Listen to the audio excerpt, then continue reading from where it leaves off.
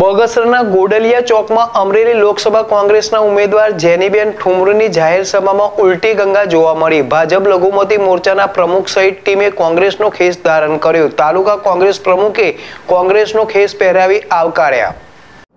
ગુજરાતમાં લોકસભા ચૂંટણીને હવે માત્ર ગણતરીના જ દિવસો બાકી છે. ત્યારે ભાજપ અને કોંગ્રેસ દ્વારા પ્રચાર પ્રસાર વેગવંતો કર્યો.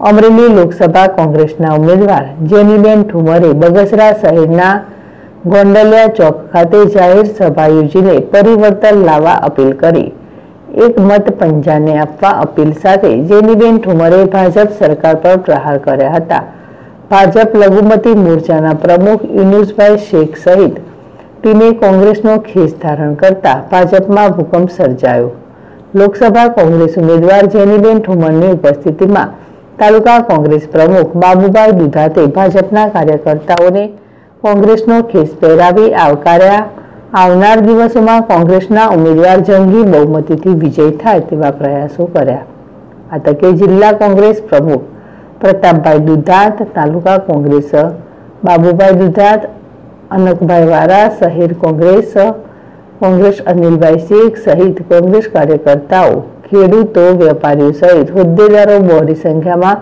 ઉપસ્થિતિમાં જાહેર સભા યોજાઈ અશોક મણવર જેડેશ ટીવી અમરેલી